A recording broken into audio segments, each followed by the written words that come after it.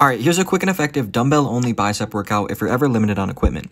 First up for the short head is standing bicep curls with your elbows slightly in front of your body, really control the weight and squeeze at the top. Then, standing hammer curls for the brachialis. All these exercises, by the way, are three sets of 10 to 12 reps. And finally, for the long head, to finish off the biceps, seated incline curls. Keep those elbows pinned back and think of dragging the weight to your armpits.